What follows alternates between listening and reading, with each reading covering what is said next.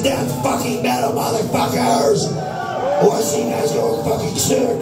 This is Carrion